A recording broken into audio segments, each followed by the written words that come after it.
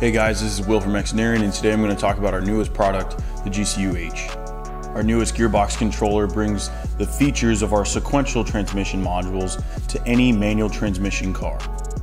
No lift shifting at wide open throttle via a spark cut allows for smooth, quick, and consistent upshifts. Under braking during downshifts, a throttle blip provides seamless rev matching. The GCU-H system will come with the following. The gearbox control unit itself, a 2-pin coil extension harness, the 20-pin I.O. harness, the 4-pin I.O. cable that includes 12 volts ground, brake, and clutch pedal signals, a remote cut active LED, remote mountable arming switch to enable and disable the system functions, an inline coil harness for your spark cut interface, and an inline accelerator pedal harness for your blip interface.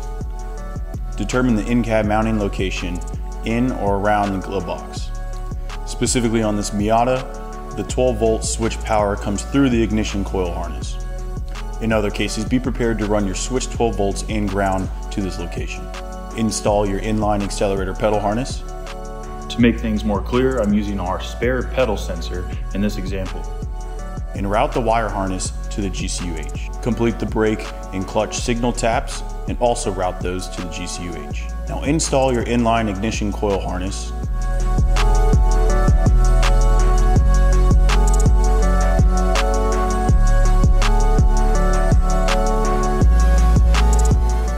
In some OEMs, a universal non-plug and play harness will be supplied.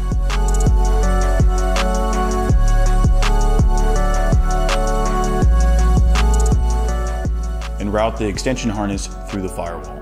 And feel free to mount your remote cut LED and your arming switch in the most comfortable spot for the driver to see and operate. And before starting the vehicle, make sure all sub harnesses are connected via the 20 pin. This will allow all active signals to pass through the module itself. Throttle blip occurs on brake and clutch presses. First brake, then clutch. WOT shift spark cut occurs during WOT and triggered by clutch press.